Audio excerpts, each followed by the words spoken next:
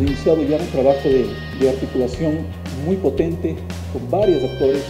Se materializa una alianza público-privada y académica para poder constituir un centro de promoción y facilitación de bionegocios en el Ecuador. Hay como los Centros de Desarrollo Empresarial Ciudadano del Micro, eh, como Microlab, y lo que hemos intentado es encontrar un nicho específico para el fortalecimiento de esta categoría que aquí hemos mencionado hoy. Requiere una, de manera consistente, de manera permanente, mirar la investigación como parte ya inherente de la gestión productiva, de la gestión del desarrollo. El gobierno de todos.